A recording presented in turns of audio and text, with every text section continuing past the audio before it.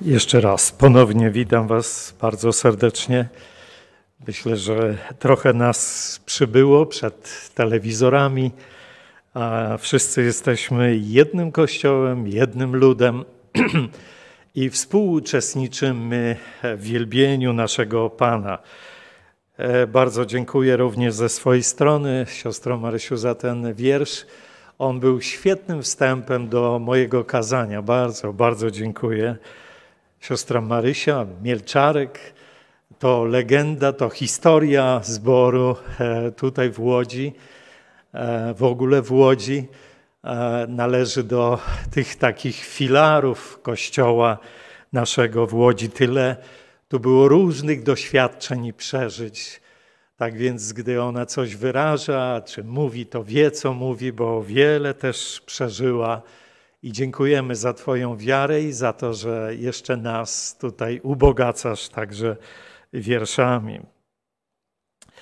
Chciałbym, e, ponieważ jest to umownie według tego kalendarza, jak powiedział brat Andrzej, ale jednak ostatni dzień, ostatni, może nie dzień, przepraszam, ale ostatnia sobota mijającego roku 2020, on się już nie powtórzy, będą inne.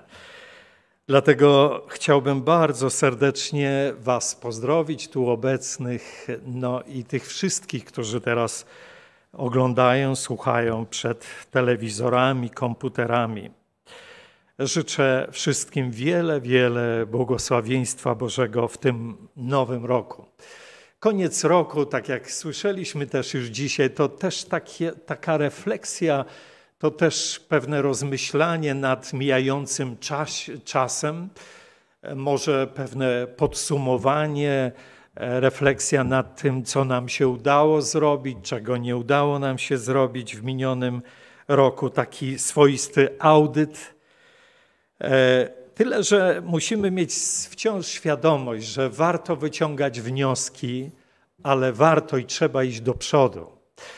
I myślę, że jako wierzący ludzie jesteśmy ludźmi nadziei, ludźmi, którzy idą do przodu, którzy nie są zrezygnowani, załamani, ale którzy pomimo e, świadomości pewnych trudów, trosk, też przecież i niebezpieczeństw, wciąż zapatrzeni jesteśmy w niebo. Jest coś w tym wyjątkowego, dlatego że to zapatrzenie przemienia nasze życie. Ale zacznijmy od takich refleksji życiowych. Otóż, gdy zapytamy może niemal albo każdego Polaka, który dzień w roku najbardziej lubi, najbardziej ceni, najbardziej wspomina, to chyba każdy powie 24 grudnia Boże Narodzenie. Zespół Czerwone Gitary, które dla szczególnie starszych osób są dosyć znane, mieli też bardzo piękne piosenki. I jedną z takich właśnie piosenek, ktoś tu już podpowiada, o takim wyjątkowym dniu.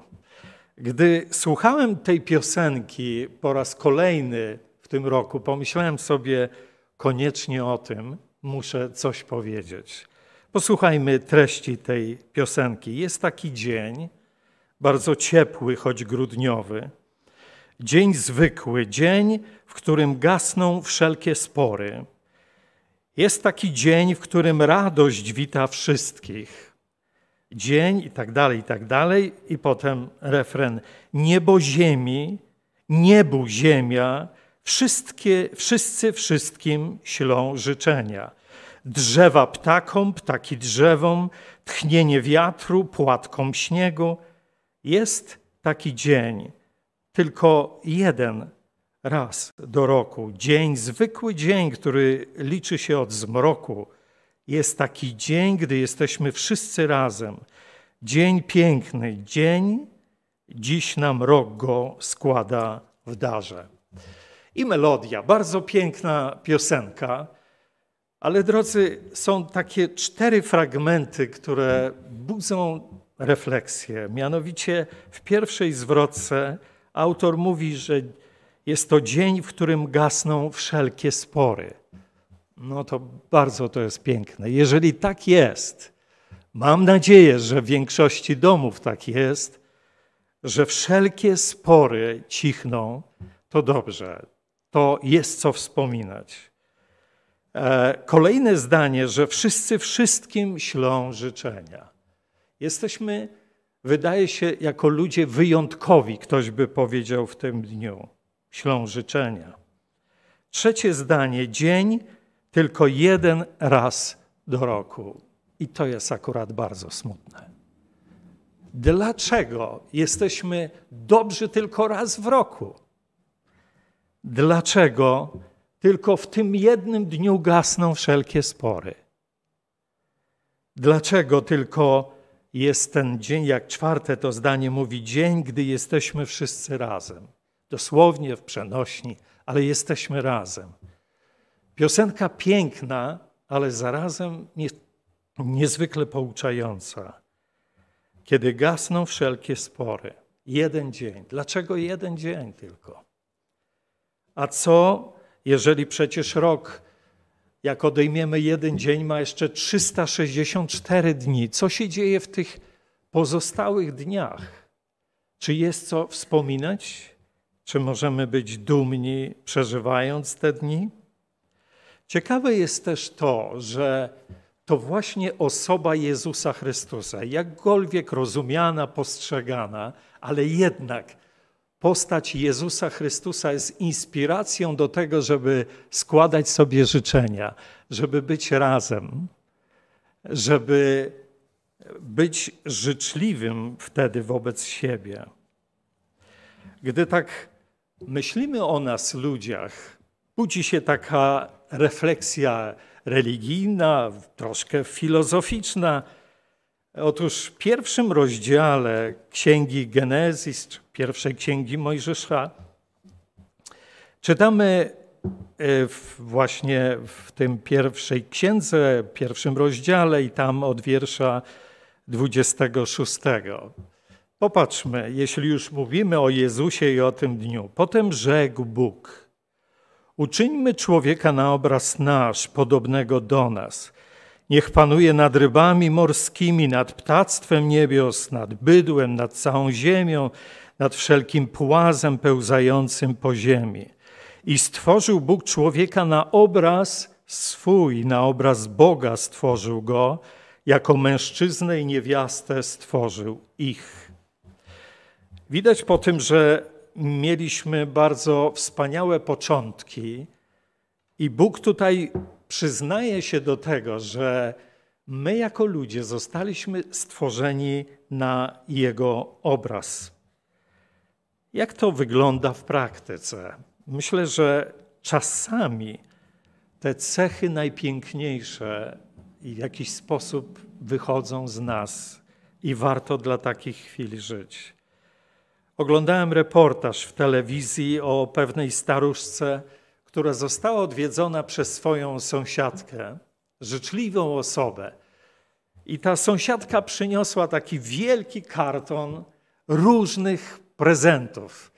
E, I tam były no, e, artykuły pierwszej też potrzeby, ponieważ ta staruszka no, jest biedna, więc przyniosła, przyniosła ta kobieta właśnie te produkty najrozmaitsze, ale także jakieś rarytasy, jakieś słodycze, no tak, żeby było miło.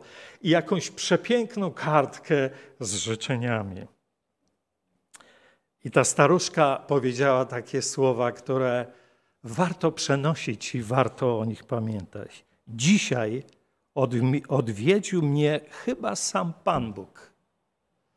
Oczywiście ona nie myślała, że sąsiadka jest Panem Bogiem, ale miała wrażenie i to skojarzenie z czymś dobrym, że chyba mnie sam Pan Bóg odwiedził.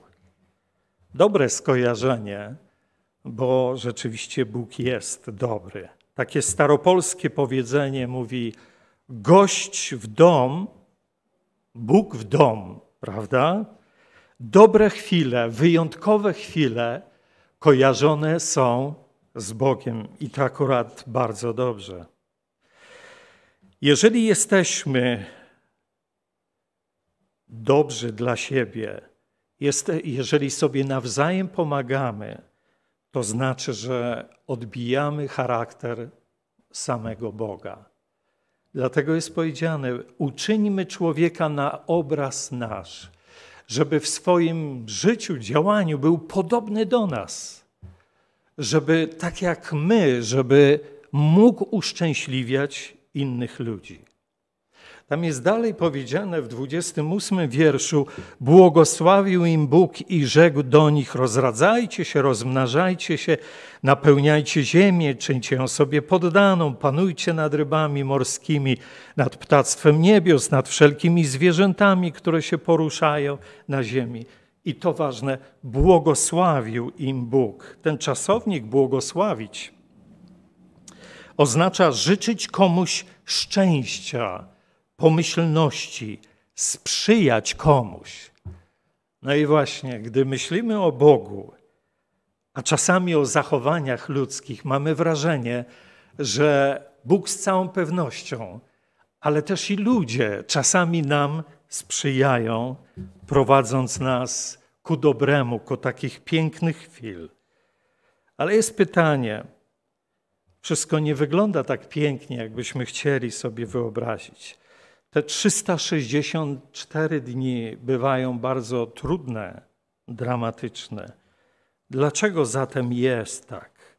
Dlaczego jest tak, że mimo tego, że stworzeni zostaliśmy na podobieństwo samego Boga, jakby przeznaczeni do dobra, do szczęścia, bo tak nas Bóg przeznaczył, kłócimy się, kłócimy się o ziemię, kto na tej ziemi na przykład ma mieszkać. Kłócimy się o prawo do oddychania czystym powietrzem, kłócimy się o prawo do zdrowia, kłócimy się o prawo do egzystencji, kłócimy się o prawdę, która jest reglamentowana i bardzo droga, coraz droższa.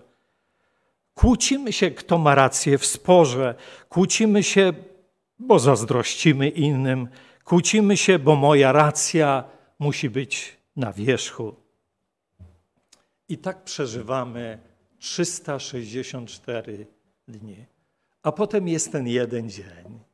I nagle wszystko się zmienia. Jesteśmy nagle tacy dobrzy. Czy to jest prawda o nas? Czy to jest jakiś sztuczny element dodatkowy całego tego dnia? Skoro tak dobrze nam jest, ludziom, jakkolwiek to rozumieć, samo święto Boże Narodzenie, ktoś powie, ale to nie ta data nawet narodzenia Pana Jezusa i pewnie będzie miał rację. Ale jakkolwiek, gdy wspominamy Jezusa Chrystusa, Jego narodzenie, to jak, jakimi ludźmi możemy być, kiedy spotkamy się jako z Jezusem dorosłym. Co może zmienić się w naszym życiu, kiedy na swojej drodze spotkamy nie dzieciątko Jezus, ale dorosłego Jezusa Chrystusa? Co On ma nam do powiedzenia? Jest bardzo ciekawy fragment w Ewangelii Świętego Jana i tam w pierwszym rozdziale i dziewiątym wierszu. Jest mowa o Jezusie w taki oto sposób. Prawdziwa światłość, która oświeca każdego człowieka, przyszła na świat. Otóż okazuje się, że Pan Jezus to nie jest to tylko dziecię, które nas raduje, które nas łączy wspólnie, gdzie przy tej okazji ludzie składają sobie życzenia wszystkiego najlepszego. Ale Biblia mówi coś więcej, że Jezus wyrósł z tego stanu dziecięcego, stał się mężczyzną, stał się ktoś, kimś wyjątkowym i ma bardzo ważne rzeczy nam do powiedzenia.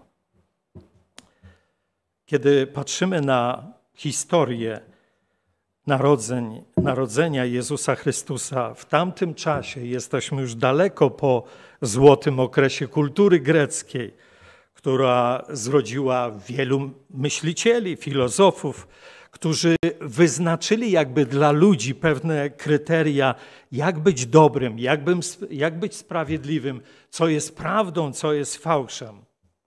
Ale popatrzmy, dopiero kiedy przyszedł Jezus Chrystus, kiedy przyszła światłość, dopiero wtedy świat się mógł prawdziwie zmienić. I tak też się stało.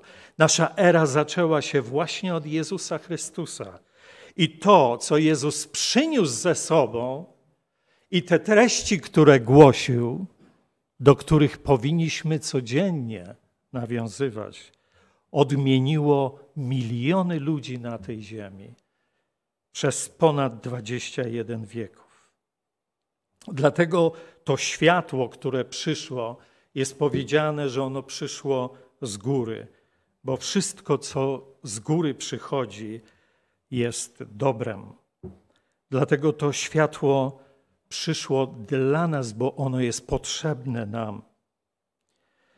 Mieliśmy być podobni do Boga, takie były założenia. Staliśmy się jak Kain dla swojego brata. Można by powiedzieć, że zniszczył nas jakiś gen zła, który powoduje, że stać nas tylko na jeden dzień w roku, żeby sobie życzyć jak najlepiej. Jeden rok, jeden dzień na 365 dni. Jezus, jak czytamy, urodził się w Betlejem, ale potem był dorosłym mężczyzną, był wielkim nauczycielem, duchowym nauczycielem. Pismo Święte mówi, był synem Bożym. Przyszedł jakby odnowić obraz Boga w nas, ludziach. No i było wielu takich, których obraz został odmieniony. Było i jest do dzisiaj. Popatrzmy, o jakich historiach Jezus mówił, które są niezwykle ważne i inspirujące do dzisiejszego dnia. Kiedy opowiadał o miłosiernym Samarytaninie, czego nas chciał nauczyć poprzez tę historię. Ano tego, że jeśli chcesz być podobny do Boga, musisz się pochylać nad nieszczęściem innych ludzi. Musisz się angażować w to całym sercem. Musisz wiedzieć, że nieważne, gdzie mieszkasz, w jakim kraju, w jakim środowisku, jeżeli spotkasz kogoś, kto wymaga i potrzebuje pomocy, powinieneś to oczywiście uczynić. I pomagać nie tylko w tym dniu, nie tylko w tym dniu się angażować i nosić paczki. Dobrze, że jest taki chociaż jeden dzień. Ale przecież mamy jeszcze 364 dni pozostałe. Jezus mówił o synu marnotrawnym. I mówi, że jeżeli spotkasz kogoś, kto poprosi cię o przebaczenie, to nie czekaj do tego ostatniego dnia, do tego jednego dnia, kiedy wszyscy się łączą i przebaczają. Powinieneś każdego dnia być w dyspozycji takiej, abyś mógł przebaczyć. I to jest wspaniała historia, która została wymalowana na wielu obrazach przez wielkich artystów. Syn marnotrawny, który wraca do domu, do ojca.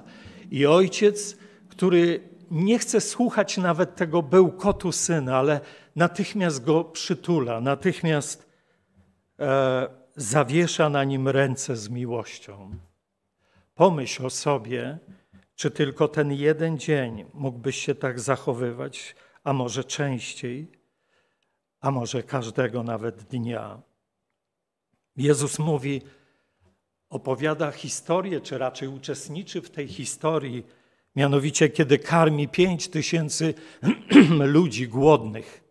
Pokazuje przez to, że powinniśmy być zainteresowani nie tylko wybiórczo pewnymi tematami biblijnymi, ale powinniśmy być użyteczni dla ludzi tak, jak Jezus był użyteczny. I dostrzegać, kto, gdzie i czego potrzebuje. I wreszcie historia, która została też odnotowana w Ewangeliach, kiedy potępiona kobieta oczekuje wyroku i tak zwanego ukamionowania. I reakcja Jezusa, który podchodzi mówi: Ja ciebie też nie potępiaj, idź, ale więcej tego nie rób.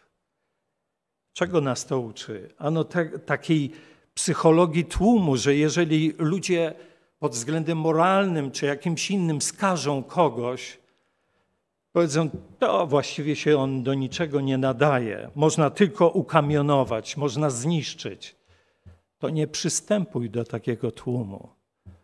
A może jest jakaś szansa dla tego człowieka? Nie musisz postępować tak jak tłum.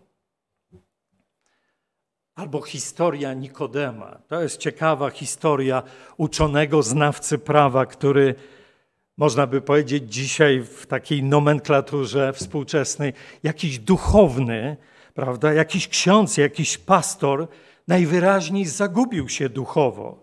Stracił motywację, by nauczać, utracił pasję nauczania, tego, aby ludzie byli dobrymi, nie miał motywacji, nie potrafił inspirować ludzi, krótko mówiąc, osłab. I spotkał się z Jezusem Chrystusem. Jezus powiedział o takiej tajemnicy, która również może być poznana przez każdego z nas.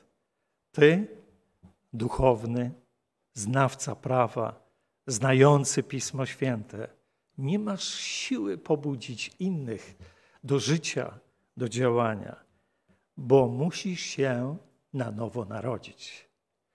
Ta wielka tajemnica w tych słowach. No to on odpowiada, czy to jest w jego wieku zaawansowanym możliwe. Tak, jeśli chcesz być podobny do Boga, to musisz inaczej nauczać. Musisz być innym nauczycielem. Możesz, jesteś w stanie inspirować ludzi do wielkich czynów. Możesz wskazywać ludziom dobrą drogę. Możesz uszczęśliwiać ludzi, możesz błogosławić, ale potrzebujesz siły.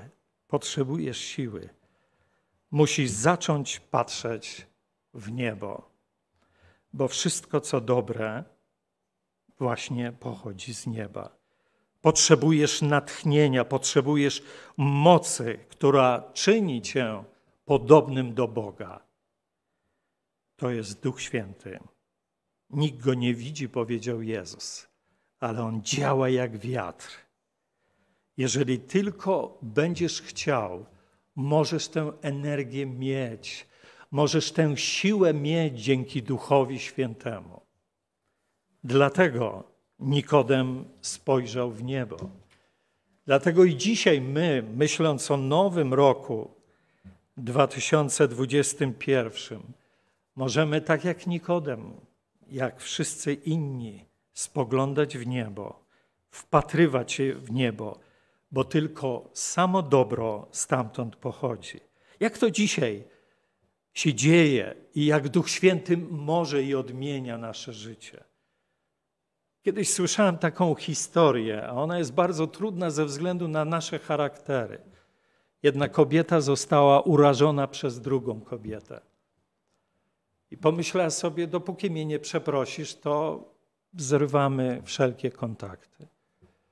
Ale pomyślałem sobie, jednak powinniśmy się pogodzić.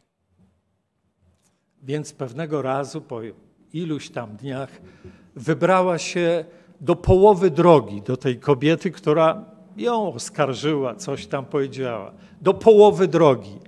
I zawróciła z powrotem do swojego domu. Dlaczego? Bo w głowie miała mnóstwo przemyśleń. Przecież ja, ja tego nie zrobiłam. Dlaczego ja mam przepraszać? Przecież to jest nielogiczne. Jeżeli ona mnie obraziła, to powinna przyjść do mnie. No i tylko do połowy drogi doszła i mówi: Panie, nie, nie, nie, tego nie zrobię. To jest. Chyba ty też to rozumiesz, że to jest jakieś naiwne. Minęło znowu kilka tygodni. Jak bardzo jest to trudne. Ale po tych tygodniach modlitw i jakby spierania się z Bogiem postanowiła jednak pójść do tej kobiety, która ją obraziła.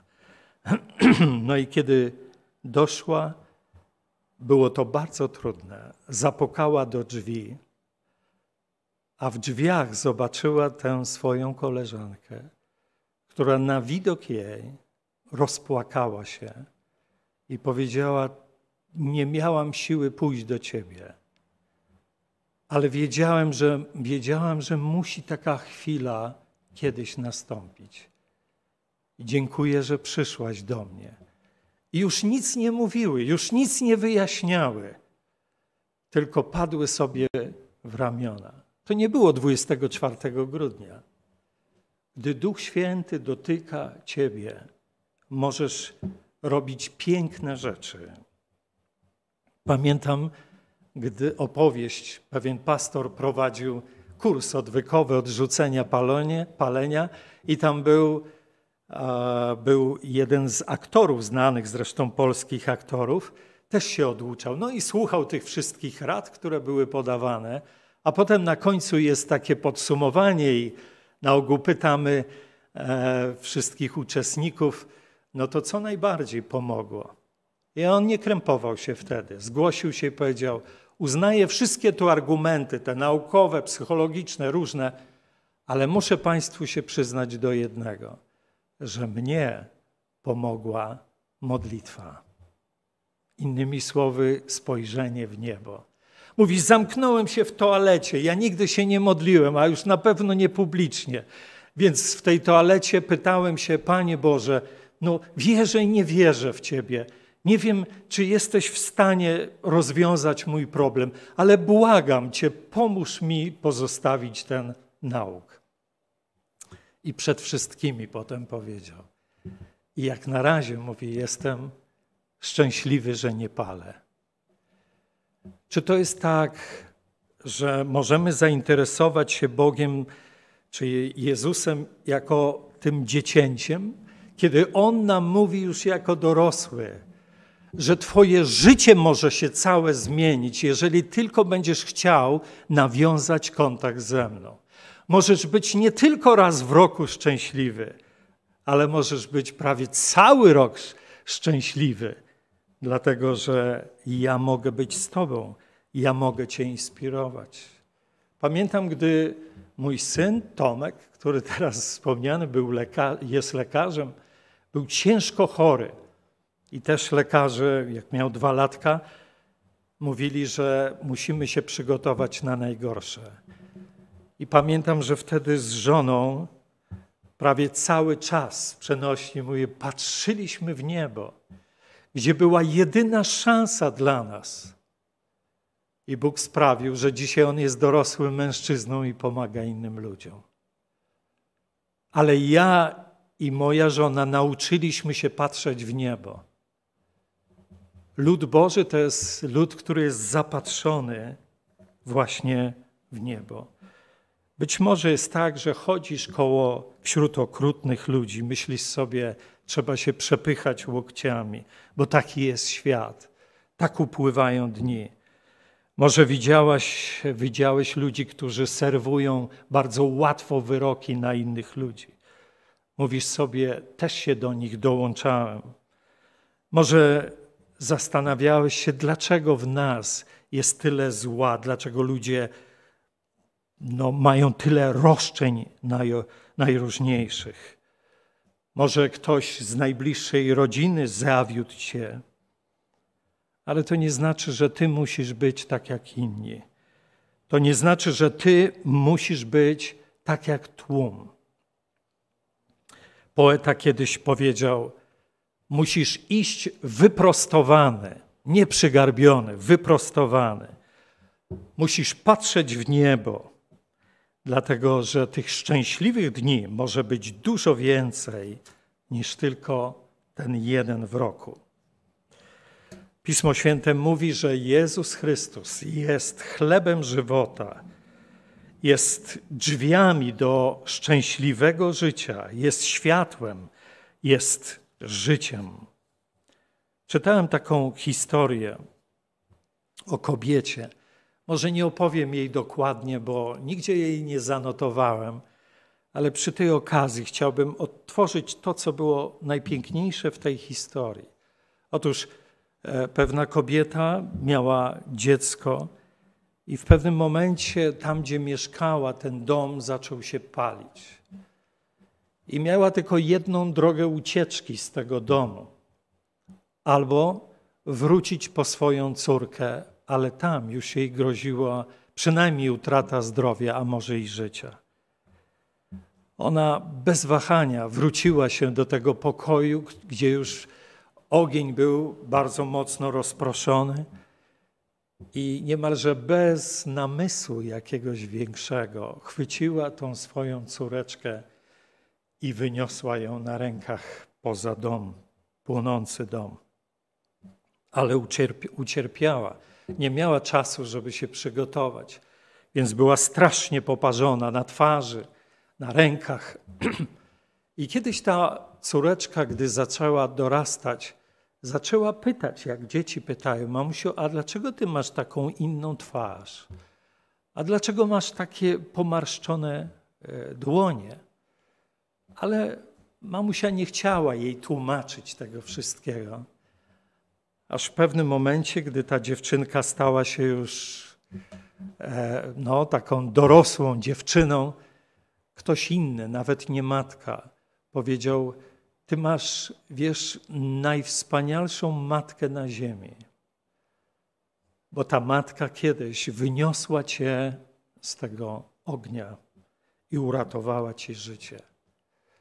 Od tego momentu ta wyobrażenia, wyobrażenie o tej matce zmieniło się w umyśle tej dziewczynki.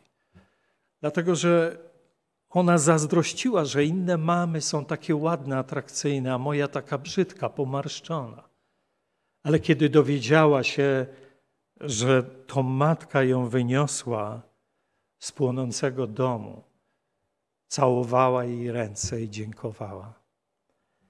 Kiedy myślę sobie tak o naszym Zbawicielu, nie o tym malutkim, e, który prowokuje nas do miłych zachowań, ale o tym dorosłym, który, gdy dorósł, pokazał nam, jak żyć, a potem oddał za nas swoje życie. Wskoczył w ten ogień, tylko ta historia skończyła się dramatycznie. On zginął na krzyżu rozciągnięty między niebem a ziemią, jakby łącząc nas z niebem.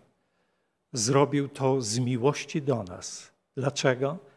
Tak jak pierwsza strona Pisma Świętego mówi, bo stworzył nas na swój obraz i podobieństwo. I chciał, żebyśmy za wszelką cenę chciał, abyśmy byli do Niego podobni. Kiedyś, gdy siedziałem przy łóżku 90 ponad 90-kilkuletniego starszego pana, wierzącego człowieka. Trzymałem go za rękę i on w ostatnich jakby słowach swoich, kończąc żywot na tej ziemi, mówił słowa: On wróci po mnie. On wróci po mnie. Ten starszy człowiek doceniał to, że Jezus się narodził, doceniał to, że potem był dorosły i tak wiele rzeczy pięknych nam przekazał. Ale jego cała nadzieja była w tym, że on, tak jak matka ta, oddał za mnie swoje życie. Dlatego ja dzisiaj mogę patrzeć w niebo, bo ja wiem, że on wróci. I tymi słowami on wróci po mnie on wróci po mnie, wypowiedział coraz słabiej, słabiej i zmarł.